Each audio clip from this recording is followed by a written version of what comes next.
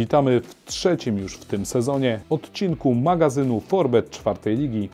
Przyjrzymy się bramkom, które padały na czwartoligowych boiskach oraz zobaczymy jak wygląda ligowa tabela. Podsumowanie kolejki zaczynamy jak zwykle od skrótów. Znicz, który stracił punkty w dwóch pierwszych meczach, rywalizował z rezerwami Stumilu Olsztyn. W 10 minucie wynik z rzutu karnego otworzył Nazar Malinowski. W 19 minucie błąd olsztyńskiej obrony wykorzystał Bartosz Giełażyn. Tym samym Znicz prowadził 2 do 0. W 66 minucie goście popełnili kolejny katastrofalny błąd, a swojego drugiego gola strzelił Giełażyn. W 88 minucie napastnik Znicza skompletował hat-tricka, a gospodarze wygrali spotkanie 4 do 0. W Bieckach doszło do starcia dwóch drużyn, które przegrały swoje poprzednie spotkania. Mrągowia grała z granicą Kętrzyn. W szóstej minucie piłkę głową do bramki skierował Patryk Galiniewski i goście wyszli na prowadzenie. W 49 minucie najlepiej w zamieszaniu podbramkowym odnalazł się Dawid Moszczyński i mieliśmy remis. W 57 minucie świetnie z dystansu uderzył Łukasz Kuśnierz i Mrągowski zespół prowadził. W 90 minucie w dogodnej sytuacji znalazł się Seweryn Strzelec i dopełnił formalności. Gdy wydawało się, że drużyny podzielą się punktami, to w ostatnich sekundach meczu Mrągowia popełniła błąd w wyprowadzaniu piłki, a na listę strzelców wpisał się Marcin Swacha-Sock. Ostatecznie granica wygrała spotkanie 3 do 2. Świetnie prezentujący się na początku sezonu Beniaminek z Nidzicy rywalizował z Concordią Elbląg. Już w czwartej minucie bardzo dobrze w polu karnym odnalazł się Szymon Masiak i start był na prowadzeniu. W 41 minucie Mateusz Sobotka przeprowadził znakomitą akcję i podwyższył prowadzenie swojej drużyny. Więcej goli w tym meczu nie padło, a start został nowym liderem rozgrywek. W Barczewie doszło do starcia dwóch drużyn, które początek sezonu mogą zaliczyć do udanych. Pisa Primavera Barczewo grała z Romintą Gołdap. W 25 minucie czerwoną kartką ukarany został Wojciech Kukliński, a chwilę później rzut karny na gola zamienił Krystian Oleszko. W 45 minucie grająca w osłabieniu Rominta doprowadziła do wyrównania, a strzelcem gola był Paweł Fajkowski. Goście mieli szansę, by wyjść na prowadzenie, ale Paweł Dymiński nie wykorzystał rzutu karnego. W 61 minucie na listę strzelców wpisał się Dawid Pietkiewicz i to Pisa ponownie prowadziła. Cztery minuty później Paweł Fajkowski przelobował bramkarza gości i ustalił wynik meczu na 2 do 2. Jeziora Kiława rywalizował z zajmującą ostatnie miejsce w tabeli Olimpią Olsztynek. Jak się okazało, spotkanie to było popisem jednego zawodnika. W 13 minucie Krystian Kinicki z bliskiej odległości wpakował piłkę do bramki i Olimpia była na prowadzeniu.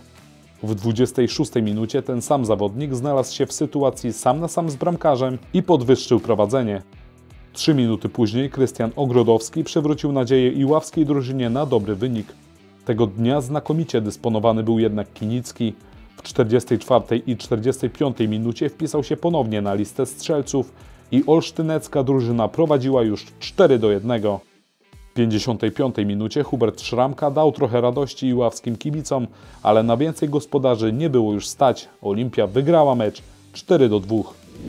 Podrażniona po ostatniej porażce, tęcza biskupiec podejmowała mający wysokie aspiracje Sokół Ostruda. Spotkanie lepiej rozpoczęło się dla gospodarzy. W 15 minucie Adrian Podgórski wpisał się na listę strzelców i tęcza była na prowadzeniu. W 31 minucie z piłką minął się bramkarz tęczy, a głową skierował ją do bramki Tomasz Śnieżawski. Już 4 minuty później świetną akcję ostruckiej drużyny wykończył Igor Koć i Sokół prowadził 2 do 1. Sytuacja ostruckiej drużyny skomplikowała się w 55 minucie, gdy drugą żółtą kartkę obejrzał Filip Czerwonka. Ostatecznie jednak wynik nie uległ już zmianie i Sokół dopisał 3 punkty do swojego konta. Mazur Ełk mierzył się z Mamrami Giżycko, które dosyć niespodziewanie mają 6 punktów na swoim koncie. Przed meczem podziękowano Mateuszowi Wielgatowi, który zakończył na ten moment grę, a przez wiele lat był czołowym obrońcą Mazura. W 25 minucie kapitalnie piłkę głową uderzył Konrad Radzikowski i Ełczanie byli na prowadzeniu. Po bramce piłkarze wykonali cieszynkę skierowaną do Mateusza Dzięgielewskiego, który zerwał więzadła i prawdopodobnie już nie zagra w tym sezonie. W 29 minucie sam na sam z bramkarzem gospodarzy wyszedł Jacek Rutkowski i Mamry doprowadziły do wyrównania. W 55 minucie goście zadali ostateczny cios. Dominik Romanowski wpisał się na listę strzelców, a Mamry wygrały spotkanie. Rezerwy Olimpii Elbląg mierzyły się z DKS-em Dobre Miasto. Drużyna z Dobrego Miasta liczyła na zdobycie kompletu punktów. W 15 minucie piłkę do własnej bramki skierował Oleksandr Jacenko i DKS był na prowadzeniu. W 36 minucie fatalny błąd popełnili goście i na listę strzelców wpisał się Aleks Kryński. Trzy minuty później Oleksandr Jacenko wyprowadził elbląską drużynę na prowadzenie. W 44 minucie Kacper Nawrocki znakomicie przyjął piłkę i uderzył nie do obrony dla bramkarza gospodarzy. Początek drugiej połowy należał do Mariusza Bucio. Pomocnik DKS-u dwukrotnie wpisał się na listę strzelców i znacznie przybliżył do wygranej swoją drużynę. W 72 minucie Elblążanie popełnili błąd w defensywie, a bramkarza rywali pokonał Jakub Brdak. W 80 minucie Kacper Sikora dał jeszcze nadzieję elbląskiej drużynie, ale na więcej nie było już jej stać. DKS wygrał ostatecznie mecz 5 do 3. W ligowej tabeli na czele start Nidzica, który ma komplet punktów. Również bez straty punktów są zajmujące drugą pozycję Mamry Giżycko. Podium z siedmioma punktami zamyka Pisa Primavera Barczewo. Ostatnie miejsce z zerowym dorobkiem zajmuje Mrągowia Mrągowo. W klasyfikacji strzelców reszcie stawki odskoczył Krystian Kinicki, który ma 7 goli na koncie. Po trzy trafienia mają natomiast Bartosz Giełażyn i Tomasz Śnieżawski.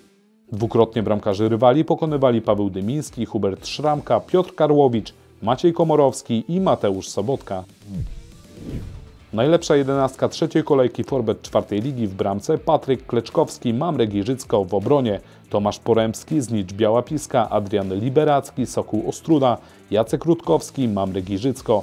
W pomocy Paweł Fajkowski, Rominta Gołdap, Mariusz Bucio, DKS Dobre Miasto, Wojciech Trznadel, Pisa Primavera Barczewo oraz Marcin Cwachasoc, Granica Kętrzyn.